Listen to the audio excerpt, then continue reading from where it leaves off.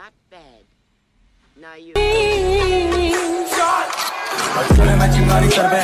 बदन पे कपड़े समंदर पार से बोले डीएम में लड़कियाँ है अरे क्या छाती ठोकी तू सूरज पंचोली ना मज़ा आया और मैं ये जो मज़ा है, हिंदुस्तान के हर व्यक्ति को देना चाहता हूँ